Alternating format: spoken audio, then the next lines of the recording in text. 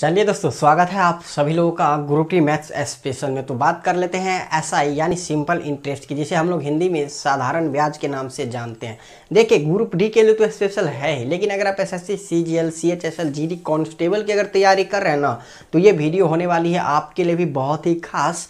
तो नज़रें जमाए रखिए। कहते हैं ना कि नज़र हटी तो दुर्घटना घटी। बाद में अगर वीडियो पसंद आए क्वेश्चन कॉन्सेप्ट पसंद आए तो चैनल को कर दीजिएगा सब्सक्राइब तो देखिए पहले क्वेश्चन का सोल्यूशन कहता है कि नेहा की आठ हज़ार रुपया की राशि, कितनी की? आठ हज़ार रुपया की राशि। एक निश्चित साधारण ब्याज दर पर तीन वर्षों के बाद बिरानवे सौ रुपया हो जाती है। देखिए नेहवा जो है ना, ये नेहवा, ये आठ हज़ार रुपया किसी को कर्ज पे देती है, ठीक? और तीन वर्ष के बाद उसका हो जाता है बिरानवे सौ रुपया। अब देखिए, कहता है कि यदि ब्याज दर दो प्रतिशत बढ़ जाती है, अब क्या करना है? ब्याज दर अगर दो प्रतिशत बढ़ जाती है तो उसे कितनी राशि प्राप्त होती? यानी अभी जो उसको राशि प्राप्त हुआ है, बिरानवे सौ रुपया प्राप्त हुआ है अब उसमें हम क्या करते हैं ना कि दो प्रतिशत हम रेट को क्या करेंगे? बढ़ा देंगे। तो मेरा हर वर्ष दो प्रतिशत बढ़ेगा। तो जब दो प्रतिशत अगर रेट बढ़ाएँगे ना तो अब बताइए कि तीन वर्ष के बाद उसको कितनी राशि टोटल मिलेगी? यही बताना है। तो देख लीजिए पी कितना दिया हुआ है? आठ हज़ार रुपया दिया हुआ है। और टाइम कितना है? तो टाइम तो देख सकते हैं, तीन वर्ष है। कितना है? तीन वर्ष है। और ये देख लीजिए, ये ए का वैल्यू दिया हुआ है ये बिरानवे सौ, ये जो दिया हुआ है ए का वैल्यू क्यों? क्योंकि देखिए, तीन वर्ष के बाद इतना हो जाती है तो इसमें मूलधन भी है और ब्याज भी है। तो जब मूलधन और ब्याज भी है तो ये क्या हो गया? मिश्र धन। तो अब बताइए कि जब हम इसमें दो प्रतिशत, यानी कि रेट को अगर हम बढ़ाएँगे, कितना? दो प्रतिशत से। तो अब जो टोटल पैसा मिलेगा, वो हमको कितना मिलेगा? तीन वर्ष के बाद। तो आप देख सकते हैं कि यहाँ प्रतिशत ऑफ़ ऐसा कितना हो जाएगा? तीन दूना छः प्रतिशत। अगर प्रतिशत ऑफ़ ऐसा आप लोग को नहीं निकालने आता है तो ऐसे हम पिछले वीडियो में बताएँ, डिस्क्रिप्शन में डाल देंगे। फिर भी थोड़े से देख लीजिए कि प्रतिशत ऑफ़ ऐसा बराबर जो होता है ना, वो होता है रेट गुना टाइम। क्या होता है भाई? रेट गुना टाइम हो जाता है, ठीक है? रेट आप देख सकते हैं, ये दो प्रतिशत हो गया और टाइम हो गया तीन प्रतिशत। तो इसी कॉन्सेप्ट पे हम लोग सारे क्वेश्चंस को एकदम सॉल्व करेंगे। तो देखिए प्रतिशत अब ऐसा कितना गया? छः प्रतिशत। तो अब क्या कीजिए ना, इसका आप छः प्रतिशत निकाल दीजिए। किसका? आठ हज़ार रुपये का। तो आठ हज़ार रुपये का देख लीजिए, हम छः प्रतिशत निकालेंगे तो हो जाएगा इतना बट्टा में एक सौ। तो दो ज़ीरो से दो ज़ीरो जाएगा, ठीक? तो बच गया कितना? छः आठ छक अड़तालीस। कितना हो गया भाई? आठ छक अड़तालीस। तो ये हो गया चार सौ अस्सी।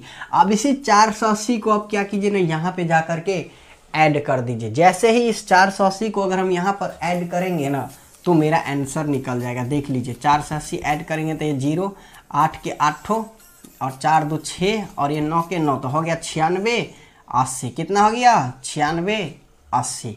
तो आप देख लीजिए ऑप्शंस में कोई मैच कर रहा है क्या? तो ऑप्शंस में देख लीजिए मैच करेगा। एक ये ये तो नहीं किया, ये नहीं किया, ये नहीं किया। देखिए लास्ट वाला जो है, ये मैच कर गया छियानवे, अस्सी और यही हो गया मेरा फाइनली सॉल्यूशन तो बने रहिए वीडियो में लास्ट तक लेते हैं आपके सामने दूसरा क्वेश्चन तो देखिए दोस्तों, इस दूसरे क्वेश्चन का सोल्यूशन जो आपके स्क्रीन बोर्ड पर अभी लिए हुए हैं, कहता है, सारथी ने एक बैंक में, देखिए, नज़र हटी तो दुर्घटना घटी, हम आपको बताएँ। कहता है ना कि नज़रें बदले तो नज़ारे बदल गए, और जब किश्ती ने रुक बदला ना तो किनारे बदल गए। तो आप लोग भी देखिए, कहता है, सारथी ने एक बैंक में इकतीस सौ पच्चीस रुपया जमा किया। कितना जमा किया? इकतीस सौ पच्चीस रुपया। और ये सारथी कहता है, ये कोई नाम है किसी का? नाम होगा, ठीक? जिस पर बैंक द्वारा आठ प्रतिशत साधारण ब्याज वार्षिक दे था, जिस पर कितना था? आठ प्रतिशत साधारण ब्याज वार्षिक दे था, यानी कि हर वर्ष उसको कितना था? आठ प्रतिशत वार्षिक ब्याज। यदि सारथी ने धन पाँच साल के लिए बैंक में रखा, सारथी क्या किया? वो अपना जो भी रुपया इकतीस सौ पच्चीस रुपया बैंक में जमा किया था ना, वो कितने वर्ष तक रखा? पाँच साल तक रखा। और उसको हर वर्ष मिलता था आठ प्रतिशत ब्याज। ठीक है? तो यह कितना ब्याज अर्जित करेगा? तो हमको आप ये बताना है कि ये सिर्फ़ ब्याज कितना अर्जित करेगा? ये नहीं बताना है कि टोटल इसका रुपया कितना होगा, यानी पाँच साल बाद हो कितना जाएगा। ये नहीं बताना है। हमको सिर्फ़ इतना बताना है कि इसका ब्याज अर्जित कितना करेगा पाँच साल में। तो सिर्फ़ ब्याज निकालना है तो चलिए इस क्वेश्चन को हम क्या करते हैं? सॉल्व करते हैं। देखिए, सबसे पहला आपको काम तो वही करना है, प्रतिशत और पैसा ढूंढ लेना और इसमें निकालना भी वही है, सिर्फ़ ब्याज। तो देख लीजिए, यहाँ पर रेट कितना है? आठ प्रतिशत और टाइम कितना है? पाँच वर्ष। तो प्रतिशत ऑफ़ ऐसा अगर हम निकालेंगे ना तो प्रतिशत ऑफ़ ऐसा इसका आ जाएगा, आठ पंचे चालीस, यानी कि चालीस प्रतिशत। तो आप भी देख लीजिए, ये है इकतीस पच्चीस, कितना है? इकतीस पच्चीस। और इसका अगर हम चालीस प्रतिशत अगर निकाल देंगे तो यही ना मेरा ब्याज निकल जाएगा, क्योंकि ब्याज मेरा कितना टोटल हो गया? चालीस प्रतिशत। क्यों?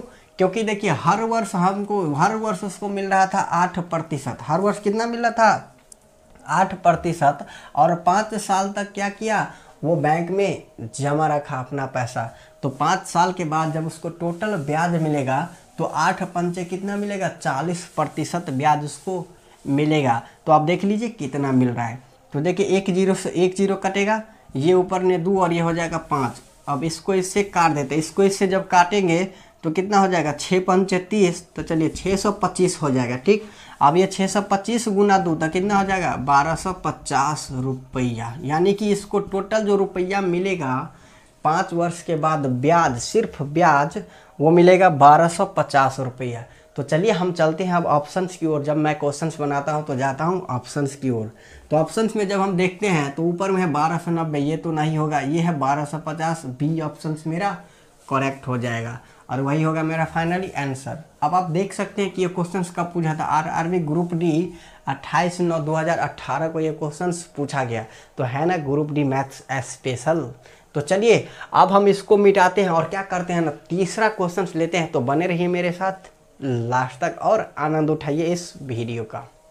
चलिए दोस्तों, देखिए इस तीसरे क्वेश्चन का सोल्यूशन जो आपके स्क्रीन पर हम ले चुके हैं। देखिए, कहता है कि सोलह सौ रुपया की राशि पर, कितना पर? सोलह सौ रुपया की राशि पर दस वर्षों में कितना ब्याज प्राप्त होगा? दस वर्षों में कितना ब्याज प्राप्त होगा?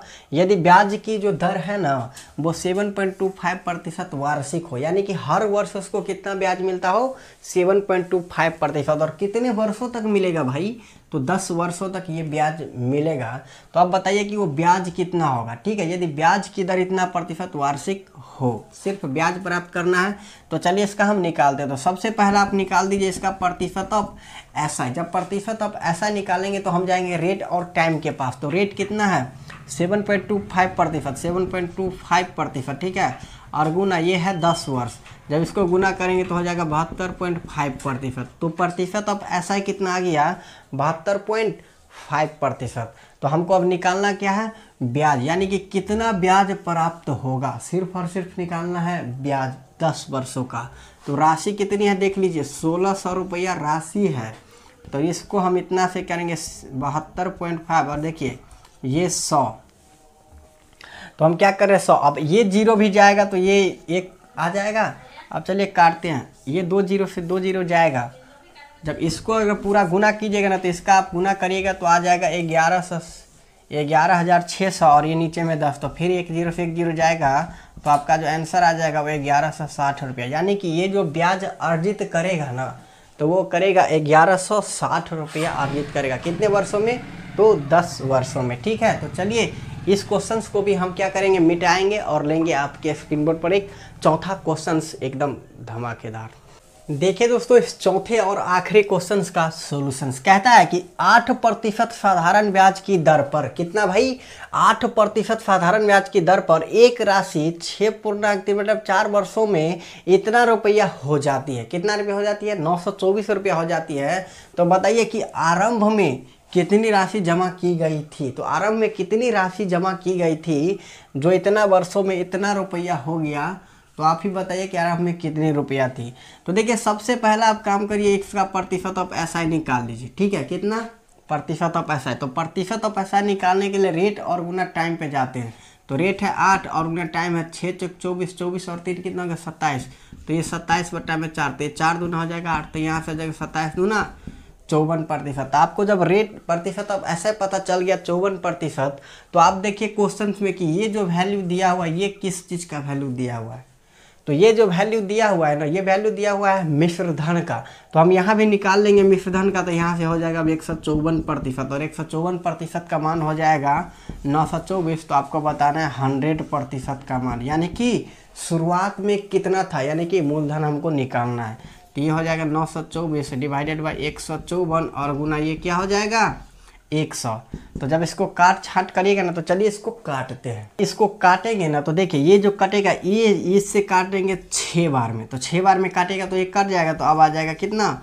छः सौ रुपया, और यही होगा फाइनली मेरा आंसर तो चलिए, अब चलते हैं ऑप्शंस की ओर, आपको पता है। तो ऑप्शन में देखिए, ये नहीं होगा, ये वाला हो जाएगा। कौन ऑप्शन बी ऑप्शन इस यहाँ क्या है? छः सौ।